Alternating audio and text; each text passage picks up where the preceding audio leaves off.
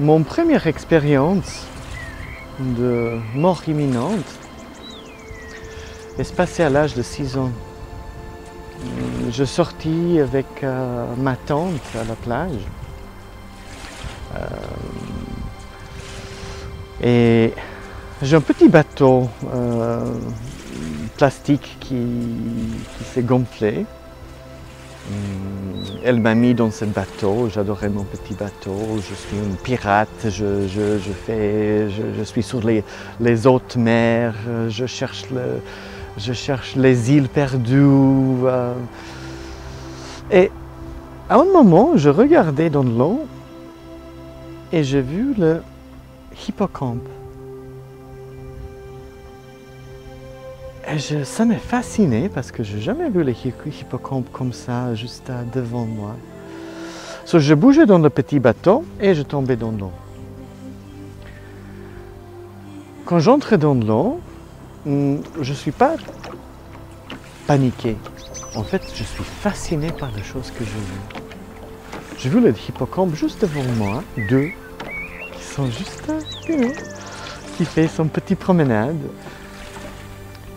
J'ai vu beaucoup de poissons, j'ai vu les magnifiques choses, euh, les lumières qui descendent à la surface euh, et qui, étaient, qui descendent dans les vagues comme ça, dans, dans l'eau. Euh, je regardais tout en bas et j'ai vu les lumières, les jeux de lumière et les vagues de sable euh, tout au fond. Et à un, moment, ça c'est devenu éternel. Cette scène était devenue éternelle. Je suis parti de la mer, je fais partie de, je fais partie de, de cette scène. Je connus la mer profondément, intimement, dans son intimité. Après, la mer était disparue dans un nuage et je tombe. J'ai une sensation dans mon ventre. Quand on descend très vite, je tombe. Je regardais en dessous euh, qu'est-ce qui se passe et j'ai vu la mer, les montagnes, la côte, le petit bateau. euh, et ça m'a fasciné. Je regardais, je disais, waouh, j'ai jamais vu ça avant comme, comme ça. Je descendu, je descendu, j'ai vu les petites voitures qui roulent euh, dans les routes, euh, euh, les petites fourmis sur, euh, sur la plage et dans l'eau. Euh, et j'ai vu un moment un groupe de personnes et dans le centre de ce groupe de personnes, il y a un petit garçon. Je tombais, je commençais, je continuais de descendre vers la direction de ce groupe et vers la direction de cette, euh, de cette corps. Et j'ai vu à un moment que ça c'est le garçon que j'ai reconnu. Je tombais dans le corps. Il y a un flash. J'ai ouvert mes yeux et j'ai vu les têtes autour de moi, les gens qui, qui, qui sont un peu paniqués. Euh, ça, c'est mon première expérience. Le deuxième, c'est se passé à l'âge de 17 ans. Je jouais dans un groupe euh, et un samedi, on a fait un concert. Dans cette halle, les gens sont déjà commencé de, de se mettre dehors euh, pour entrer. Cette soirée, je, je prêtais un grand ampli pour mes instruments, Hmm, comme ça. Je l'ai branché je allumais et j'ai entendu pop. Pas de lumière, rien du tout. J'ai dit, ah, qu'est-ce qui se passe maintenant? Je regardais, le fusible était, était, était cassé. Maintenant, quoi faire? Parce que c'est samedi soir, tous les shops sont fermés, euh, je n'ai pas, pas un remplacement. Mais comme un bon inventeur, j'ai une bonne idée. J'ai vu le paquet de cigarettes de mon ami. Je lui dis, donne-moi ton paquet. J'ai sorti la cigarette et je commençais de rouler le morceau de, folie. So, je roulais cette folie dans une petite pièce comme ça, roulée, et je mis dans la boîte de fusible. Je fermais la boîte, je branchais l'appareil, j'allumais. Oh, regarde, magnifique! Toutes les, lumières sont allumées, c'est génial. Je pris mon câble, je l'ai branché dans l'amplificateur. Je pris l'autre côté de câble je commençais d'aller vers mes instruments. J'arrivais juste derrière mon synthétiseur. Et juste avant de mettre le, câble dans le trou, je touchais le type. Hmm. À ce moment, quelque chose de particulier s'est passé. À ce moment-là, le temps s'est arrêté. Le temps arrêté et j'ai vu le derrière, le panneau derrière mon instrument qui a commencé de s'éloigner, mais comme, comme dans un film, les flashs, tchac, tchac, tchac, tchac, tchac. Hmm. Après ça, je suis dans l'espace. J'ai une conscience, je suis consciente, je suis dans l'espace. Je vois les étoiles tout autour de moi. Hmm, je pas encore, mais c'est comme une sorte de nuage. Je suis étonné parce que mes jambes, mes pieds sont quelques centaines de milliers de, années de lumière à l'autre côté. Euh, je ne les vois pas, mais je les sens. Hmm, mon corps était cet nuage lumineux. Je voyage à une vitesse extraordinaire. Je passe les étoiles, je passe euh, les galaxies. Et je voyage vers une, constellation. Le, plus proche que j'arrive vers cette constellation, je vois plus et plus les étoiles. J'approche, plus j'approche, encore plus et plus les étoiles. Ça s'est commencé avec quelques dizaines, et après les centaines, après les milliers, et après, j'ai vu un corps lumineuse des milliards d'étoiles. Et j'ai réalisé aussi cette euh, constellation a eu une forme, une sorte de une forme humaine. Parce que j'ai vu quelque chose qui, une forme de tête, une, forme de, corps, des jambes, des bras. Et à un moment, il y a un flash, je tombais dans cette grande luminosité. Et après cette flash, je regardais et j'ai vu le plafond de scène, avec les lampes, euh, les fils. Et j'ai entendu le, le gens en panique. Je suis levé, mon guitariste était complètement à côté. Euh, je demandais qu'est-ce que s'est passé? Et elle m'a dit, je ne sais pas, mais on, on t'a vu que tu es volé par toute la scène et tu es tombé sur ton dos. Et voilà, tu es là déjà quelques minutes et Mike est déjà sorti pour appeler l'ambulance parce qu'à cette époque il n'y a pas de téléphone portable. Je dis ah non, tout va bien, tout va bien. Je regardais mon, pour chercher mon câble j'ai pris le câble, mais cette fois, je n'ai pas touché le type. Je l'ai branché et on a fait notre concert. Euh, après cette expérience-là, hum, euh, je commençais vraiment de, sentir les choses et d'avoir les expériences euh, bizarres. Hum, par exemple, je passais une lampe, elle s'allume. Je passais une machine, elle s'entend. Euh, je, je, se promène dans la rue, les lampes s'entendent. Je s'éloigne de cette lampe, elle s'allume, je l'approche, elle s'entend encore. Hmm.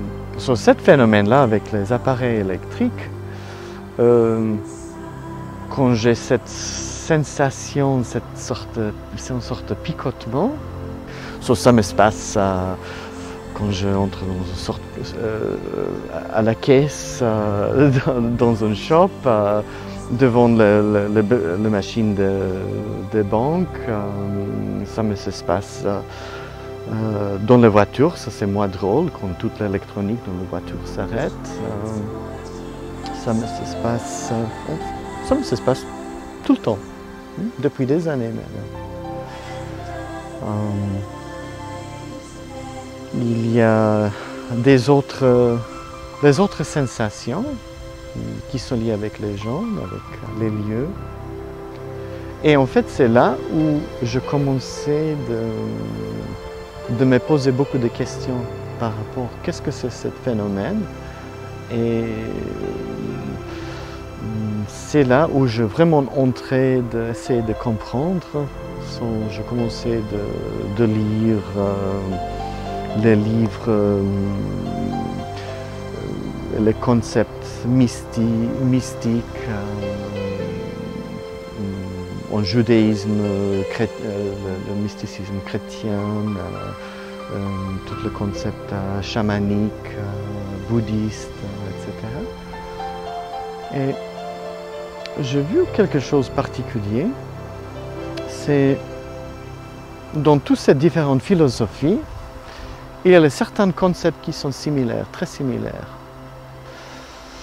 Et mm, comme j'aime bien mettre mes, pieds par terre, euh, j'ai commencé à enlever tous les aspects euh, culturels, euh, parce qu'une civilisation qui était développée dans le désert, on n'a pas eu le même environnement, les mêmes conditions de vie comme le peuple qui sont, par exemple, qui sont, qui sont apparus dans les montagnes, dans les, jungles. Sont bien sûr, dans leurs histoires, dans leurs concepts, les images, ils ne sont pas les mêmes.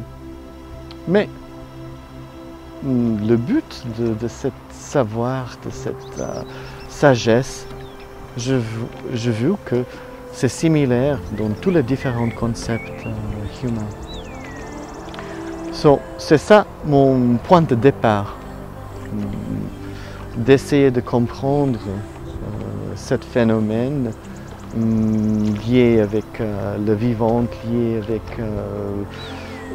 les apparitions, euh, les visions, euh, l'état de, conscience modifié. Euh, parce que différents peuples sont développés différentes techniques d'arriver par là. Les certains ont fait la méditation, les autres ont fait le chant, les autres ont fait les jeunes, euh, les autres sont utilisés les, plantes, euh, les, substances. Euh, mais le but de toutes ces différentes pratiques, c'est d'arriver dans cette, dans cette zone dans laquelle la conscience se modifie. Et on observe autour de nous hmm, une autre couche de notre univers. Hmm, et en fait de notre réalité. Et c'est ça toujours euh, la grande question, c'est quoi la réalité? Euh, Qui a le droit euh, Si on revient à notre ami M. Einstein en 1905-6, quand il est sorti avec, avec son, cette fameuse travail,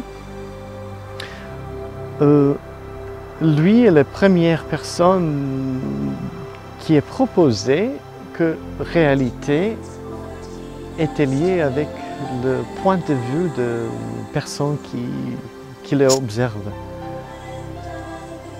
So, mm, en printemps, cet arbre ici était magnifique. C'est un cerisier.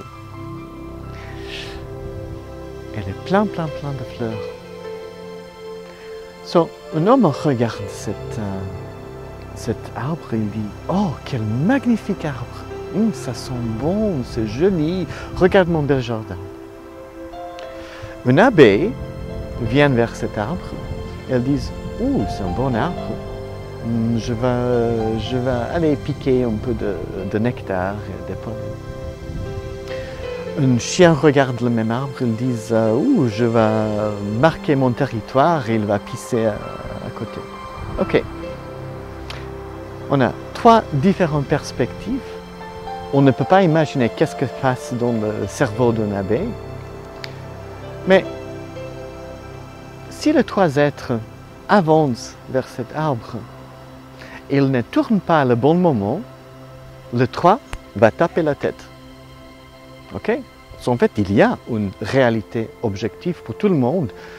Et qu'est-ce qu'on observe, qu'est-ce qu'on imagine, ou qu'est-ce qu'on.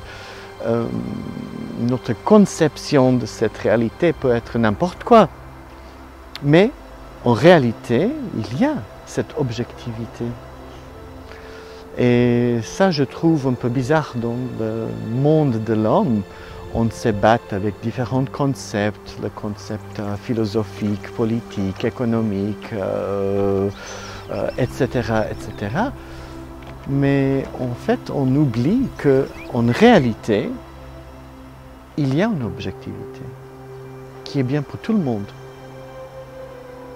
Parce que n'importe qui, s'il se coupe avec un couteau, il va saigner. Hmm, s'il fait froid, tout le monde va être froid même s'il est esquimau, même si, euh, il vient d'une jungle en Amazonie, il va être froid, au fond. So, mm, on oublie que cette objectivité, et on se polarise. Euh, la troisième expérience mm, de mort imminente, se passer à l'âge de 24 ans. C'est hiver et au Canada, l'hiver euh, peut être très dur.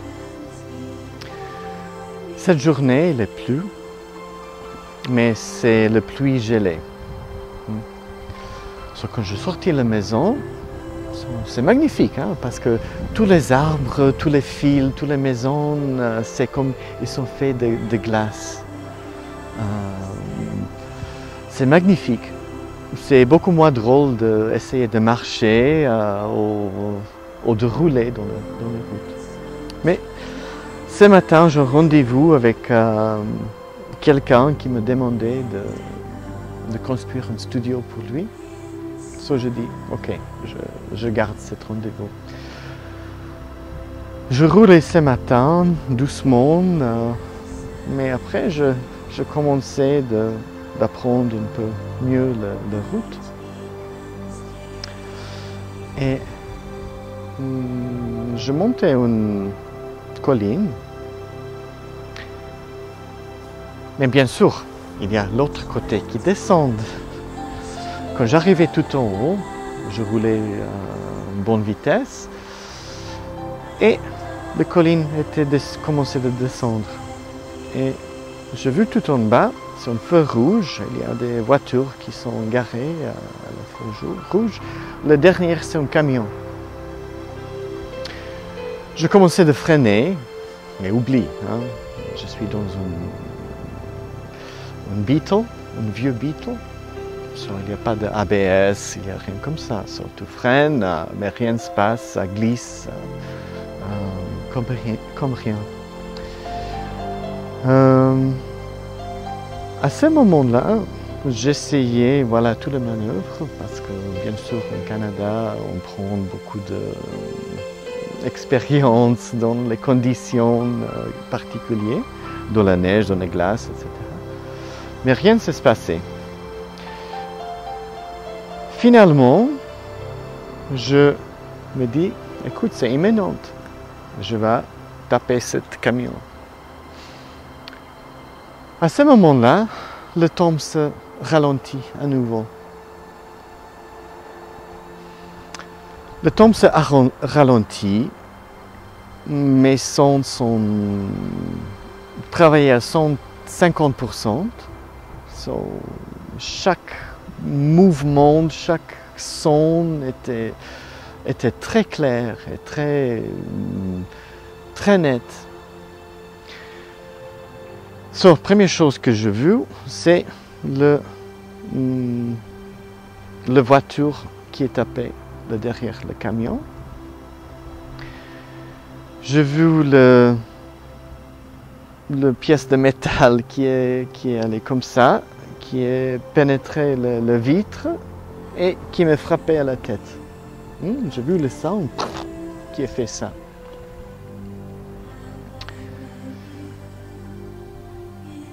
La prochaine image, je suis dans, dans un lieu lumineux, nuageux. Et je suis devant une sorte de portail.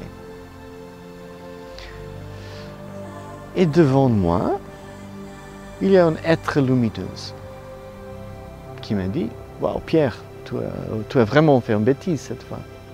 J'ai dit Ah oui. Et il m'a dit Tu peux passer.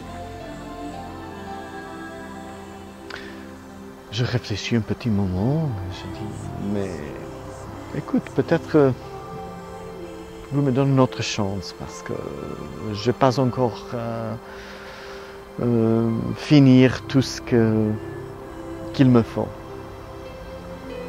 Il m'a dit, ok, tu peux retourner, mais il y a une condition.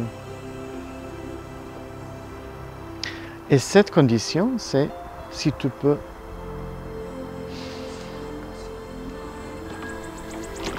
fais tourner toute la scène à inverse que tu as juste observé.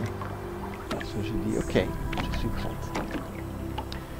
So, je commençais de observer cette scène, mais à l'inverse.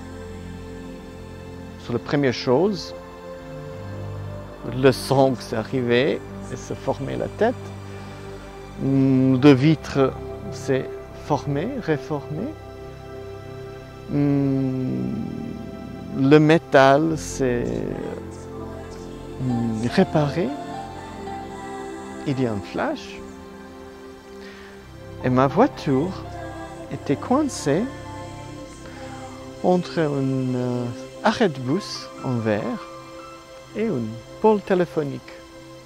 Et je n'ai pas de place pour ouvrir la porte ni d'un côté ni de l'autre côté. Donc vraiment avec 5 cm entre cet euh, arrêt de bus en verre et avec cette pôle téléphonique de 10 mètres.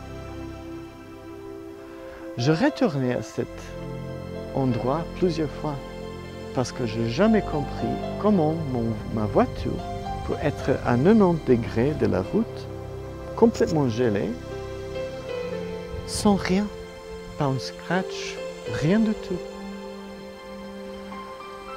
Euh, et ça, toujours m'a fasciné, cette dernière expérience. Parce qu'après cette dernière expérience, hmm, il y a d'autres choses qui sont arrivées. Et ça, je vous explique après. Après, mon deuxième expérience euh, de mort imminente, une soir, j'arrivais à la maison, je garais la voiture, j'entre dans ma chambre, je suis mis au lit. C'est minuit, Le moment, le moment que je fermais les yeux, je commençais à entendre un son, une sorte d'orage. Au lit, je pensais, qu'est-ce que c'est J'écoutais, j'écoutais, euh, c'est un orage qui, qui approche. je se lève mon lit, je regarde la fenêtre, je vois rien. Je vois les étoiles, les arbres dans le rouge. Je suis remis dans mon lit. Le moment où je fermais les yeux, le son était recommencé.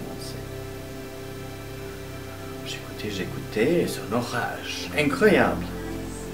Waouh, quel orage! Je suis levé à nouveau, je regardais, rien du tout. Bizarre. Et j'en se remis au mon lit.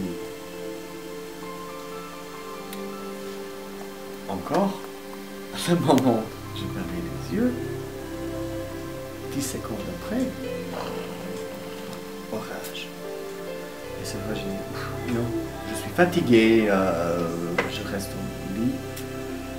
Mais l'intensité était augmentée, augmentée, augmentée jusqu'à le moment où je, sentis comme toute la maison tremble et la fenêtre va se briser parce que, wow, écoute cette vibration. Je se levais, j'essayais de se lever, mais mon corps ne fonctionne plus. Je n'arrive pas de se bouger. Je ne peux pas bouger ni mes doigts. L'intensité de son continuait son d'un orage. Gigantesque chute de l'eau. Et je commençais à paniquer.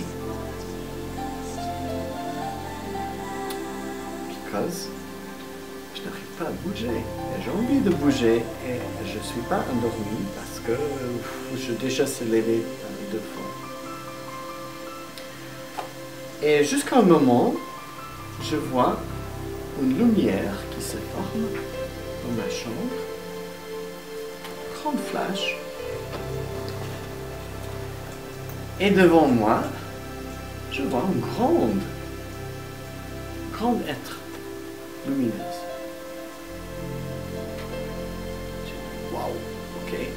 Ça c'est, euh, ça c'est un alien ou ça c'est un ange. Parce que pour moi, c'est égal parce qu'il est là, c'est ange, alien, it's okay, you know, vous êtes bienvenue. Il m'a dit une chose, il m'a dit paix. Ça s'est résonné dans chaque cellule et je devenue absolument claire, présente, consciente de chaque minuscule détail. Je suis dans mon, lit, je n'arrive pas à bouger. Euh, il y a cette son, il y a cette personne, être là. Euh, peut-être c'est alien, mais peut-être c'est ange. Euh, je sentis mon perspiration de mon corps. Et il a commencé une conversation. Et il m'a dit, Pierre, il y a quelque chose que tu dois faire. Ça? Ça, je te dis un jour. Mais pour l'instant, je veux que tu notes chaque conversation que tu vas aller avoir avec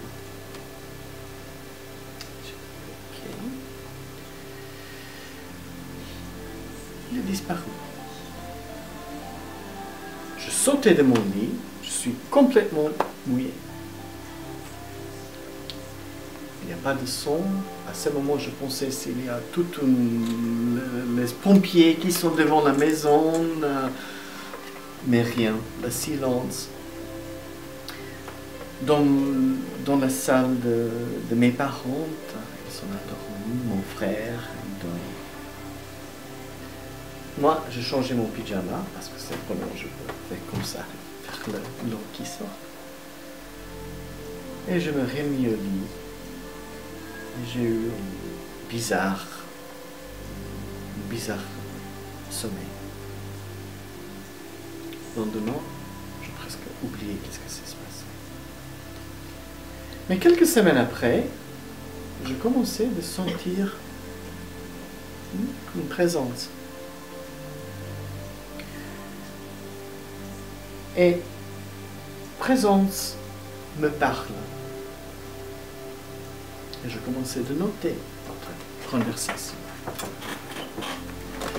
Mais à un moment, quand je discutais cette euh, expérience avec euh, mes parents, ils sont envoyés chez un psychiatre. J'ai expliqué ça à mon psychiatre. Qui a dit, ouh, mesdames, monsieur, euh, madame Béza, vous avez un qui est un peu, c'est probablement de traumatisme, euh, quelque chose qui est frites dans son cerveau après l'électrocution. Soit, la prochaine fois, mon être était apparu, j'expliquais ça. Je il pense que je suis complètement malade et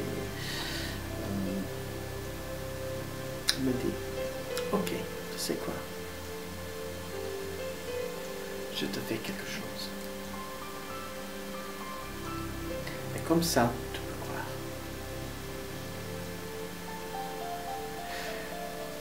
Un jour, je se promène à bord de mer, je suis en vacances. Une femme m'a approché et dans mon main, elle a mis quelque chose. Elle m'a dit, c'est la tienne, garde. Je vais et j'ai vu un petit objet. Je dis, waouh, c'est cool ça. Hmm, Je l'ai mis dans mon poche. Je retourné au Canada après la vacances. euh, je pensais pas grand chose. Mais un jour, une amie a vu ça sur mon, Elle me qu'est-ce que c'est Hmm, Elle me proposait d'aller à le musée en Toronto, département d'Antiquité, de demander qu'est-ce que c'est, parce que c'est peut-être quelque chose romain ou grec ou, ou, euh, quelque chose comme ça. C'est un objet hmm, un peu comme ça, hmm, avec, avec huit côtés et, un- et une, écriture dans le centre. à la musée, le gars me demandait, regardez, il dit, ouf, c'est intéressant ça, euh, mais qu'est-ce que c'est On ne sait pas, laissez ça ici. Il m'a demandé si je suis d'accord s'il fait un test de carbone 14 et chimique, analyse chimique. Je dis, ok, mais un petit morceau. Quelques semaines après, un appel, c'est le musée.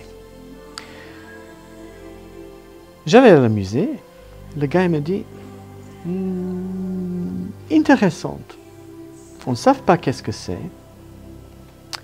Mais voilà, monsieur Rubeza, votre analyse euh, carbone 14. Mais il n'y a rien. Exactement, il n'y a rien. On ne comprend pas. Euh, voilà, monsieur Rubeza, votre rapport ch- analyse chimique. Euh, rien. Il m'a dit, on n'a jamais vu ça, mais on ne sait pas qu'est-ce que c'est. Mais le musée était prêt d'acheter la pièce. Non, pas, pas aujourd'hui, merci. Je suis parti avec mon pièce. Parce qu'il m'a dit, on ne sait pas, de- on ne comprend pas le matériau. C'est pas en pierre, c'est pas le bois, c'est pas en os, c'est pas en céramique, c'est pas en métal, c'est pas, je sais pas qu'est-ce que c'est. Quelques ans plus tard, je fais la même chose au musée Royal Museum à Londres. Même résultat. Aucune idée. Qu'est-ce que c'est Analyse chimique, zéro. J'essayais plusieurs fois d'avoir une rayon X. Et ça, c'est le seul rayon X qui reste, la seule image. C'est ça. Il n'y a pas grand-chose mais on voit au minimum plus ou moins la taille et le huit côtés de ces pièces. Normalement, les rayons X sont tous blancs ou tous noirs. Ok? Ça, c'est le seul qui était sorti. C'est bien, mais quand même, le rayon n'était pas pénétré le matériau. Parce qu'on ne voit pas euh, le I, l'écriture.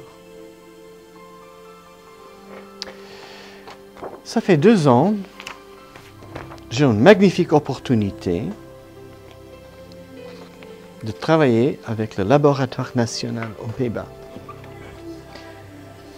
Et dans le laboratoire national aux Pays-Bas, il y a un tunneling scanning microscope. Un génie des ingénieurs humains, une machine dans laquelle on peut mettre n'importe quoi, un stylo, un téléphone portable, un morceau de poussière. C'est comme un petit sous-marin de métal. Euh, on a pris les pièces, on a mis dedans. On a fermé la porte. Et après, il y a la lumière qui tourne. Parce que la machine fait un vide. Elle fait un vide parce que le, microscope était si puissant, s'il y a l'air, il photographe les, les molécules de l'air. Ok, c'est microscope top class. Ça travaille, ça travaille, la pompe qui tourne, la lampe qui tourne. 10 hmm. minutes, 15 minutes, 20 minutes, pas de vide. Hmm? On attend la lumière verte sur la capsule. Non. 30 minutes, pas de vide. Intéressante. Opératrice. Machine en panne, il faut appeler service technique. On, a parti, euh, on a parti le soir parce que c'est déjà euh, au soir. Le lendemain, le matin, j'arrive. Ok, euh, service technique était arrivé hier soir. ils sont contrôlés tous, mais la machine était bonne, il n'y a rien, avec la machine. Ok, excellent. Remis les pièces dans la machine. Le pompe commence, la lumière tourne. Attends, attends, 5 minutes, 10 minutes, 15 minutes de faire le vide, non. Et juste avant, elle a poussé le bouton de dire non, arrête, encore, machine tombée en panne. Lumière verte. On a de vide. Waouh, génial. Ok, so derrière l'écran, on voit rien. Il n'y a pas d'image. Mais est-ce que la pièce était dans la machine? Oui, parce qu'on la voit sur la petite fenêtre, elle est là. Elle contrôle. Pas d'image sur l'écran. Crash ordinateur, il faut redémarrer. Ok, redémarre l'ordinateur la capsule était tenue son vide et tous les ordinateurs sont redémarrés. Écran, pas d'écran, pas d'image.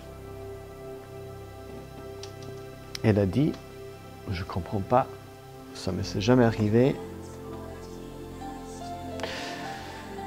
Elle a dit, il y a seulement une chose que je peux essayer, je n'ai jamais fait, mais c'est de mettre la machine au maximum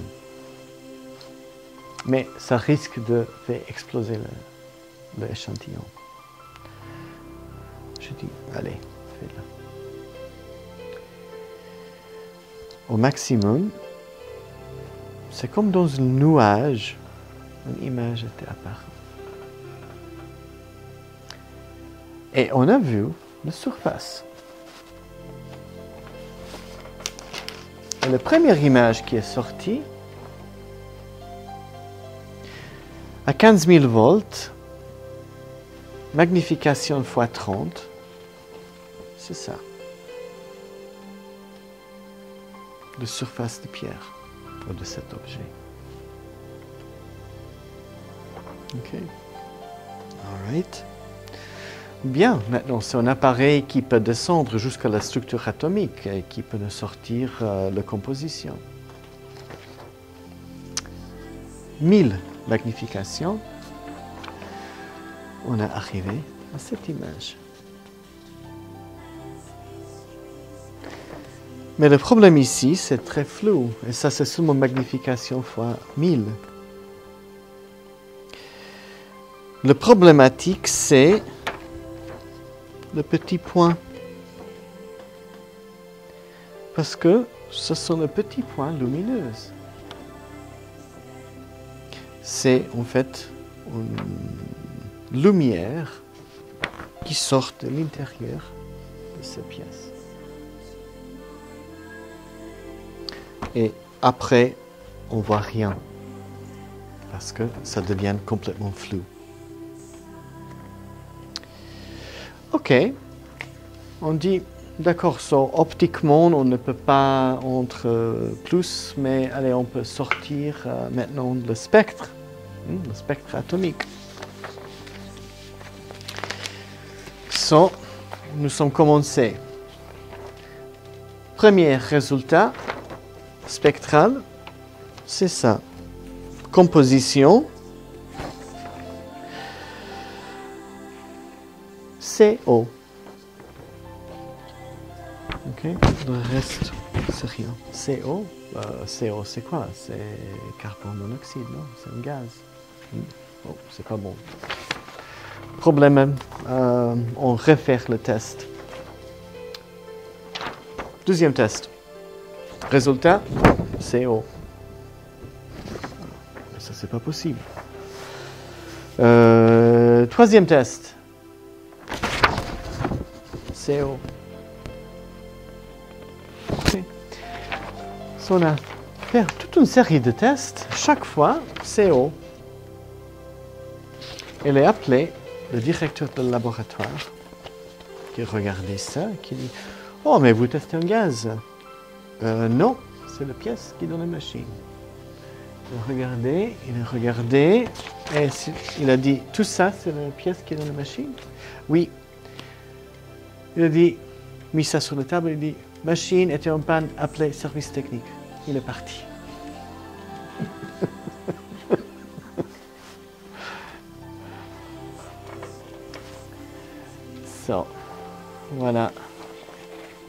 Cette petite histoire de quelque chose particulier, euh, d'un objet qui, jusqu'à maintenant, personne n'était pas arrivé de me dire ce que c'est, ou d'analyser qu'est-ce que c'est. Mais c'est cet objet qui est lié avec cette série de visions et de conversations mm, avec ces êtres. So, moi, je ne suis pas un étranger de phénomènes et d'expériences euh, inexplicables. Mais en même temps, je suis vraiment terre à terre par rapport à euh, mes actes, par rapport à mes inventions. Euh, et j'espère par rapport à mon manière de vie mes, mes accomplis et mes désirs.